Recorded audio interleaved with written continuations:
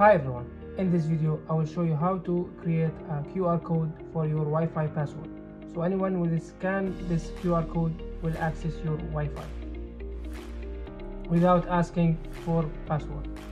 All you have to do is to make sure you have shortcut app is downloaded. Then you will find the link in the description, tap on it and get the shortcut. So add the shortcut so now all you have to do is tap on it and you will have that QR code is here. And you can also save it print it and share it with your friends and family. Also you can ask Siri to do it. Hey Siri share Wi-Fi network. And that's it. Thank you for watching. Don't forget to subscribe to support us and see you in the next video